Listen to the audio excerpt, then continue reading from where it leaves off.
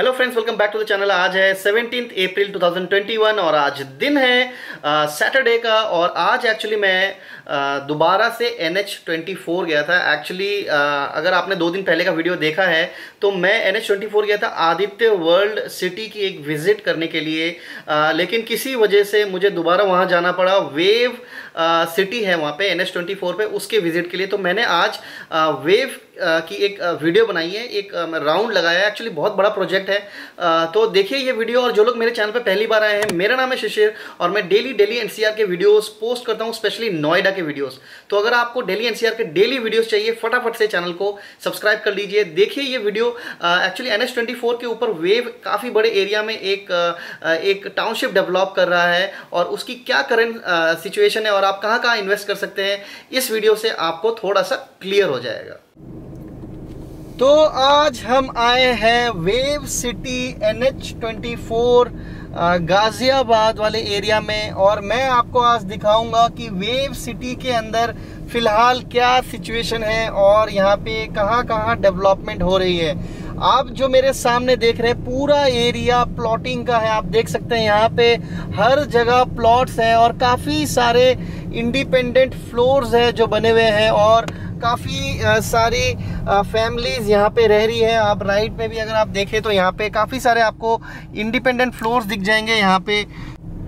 तो आप देख सकते हैं यहाँ पे काफ़ी सारे इंडिपेंडेंट फ्लोर्स में आ, लोग शिफ्ट हो चुके हैं लोग रह रहे हैं और यहाँ पे छोटे छोटे ब्रोकर्स ने अपने शॉप लगाए हुए हैं और कॉमर्शियल जो है वो डेवलप हो रहा है।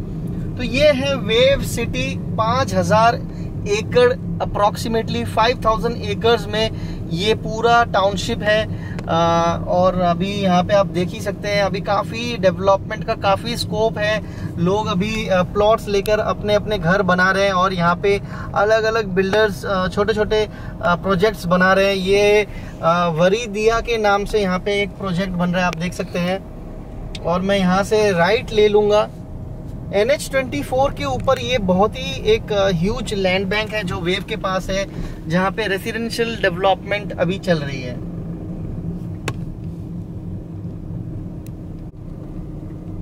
तो मेरे लेफ़्ट में जो अभी आपको दिख रहा है, ये किंग वुड एनक्लेव के नाम से यहाँ पे डेवलपमेंट हो रही है। एक्चुअली यहाँ पे King Wood Enclave Oak Wood Enclave Pine Wood Enclave आ, कुछ इन नामों से कुछ इस तरह के नामों से यहाँ पे जितनी भी आपको डेवलपमेंट है वो होती हुई दिख रही होंगी। यहाँ पे इंडिपेंडेंट फ्लोर्स और प्लॉट्स दोनों ही आपको मिल जाएँगी। तो किंग्स वुड एनक्लेव के नाम से अभी जो आपको सामने दिख रहे हैं काफ़ी ब्यूटीफुल इंडिपेंडेंट फ्लोर्स बने हुए हैं और अभी आपको जो ये एरिया दिख रहा है ये एक्चुअली एक प्लॉटिंग वाला एरिया है। यहाँ पे प्लॉट्स लेके लोगों ने अपने आ, घर डेवलप किए हुए हैं। और ये है किंग्सवुड एनक्लेव और सामने जो आपको दिख रहा है, ये है एक high rise society Dream Homes के नाम से। तो अभी हम चलेंगे ड्रीम होम्स तक और देखेंगे यहाँ पे आगे और क्या क्या डेवलप हो रहा है।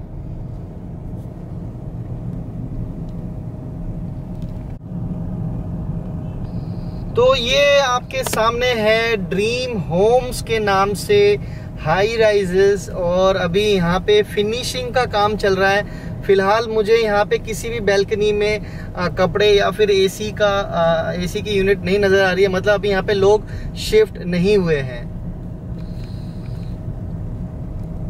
और जैसा मैंने आपको किंग्सवुड एनक्लेव दिखाया लेफ़्ट में जो भी आपको दिख रहा है ये है स्प्रिंगवुड एनक्लेव और यहाँ पे पुलिस स्टेशन के लिए लैंड छोड़ी हुई है। तो आप देख ही सकते हैं, यहाँ पे अपना खुद का पुलिस स्टेशन है और रोड्स देखिए रोड्स जो है काफ़ी चौड़े चौड़े हैं और रोड्स हर जगह बन चुके हैं और अभी फ़िलहाल रोड्स के दोनों तरफ़ प्लॉटिंग या फिर इंडिपेंडेंट फ्लोर्स पे काम चल रहा है।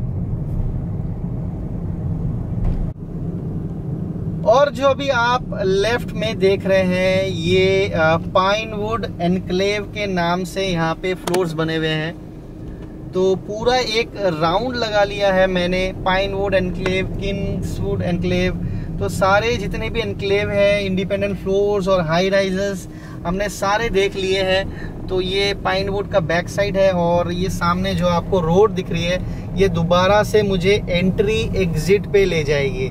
एक्चुअली uh, यहाँ पे काफ़ी सारा डेवलपमेंट अभी होना है। आप देखिए अगर आप लेफ़्ट में देखेंगे तो काफ़ी सारे रोड्स आपको अंदर जाते हुए दिखेंगे। रोड्स का एक बहुत ही वाइड नेटवर्क है यहाँ पे।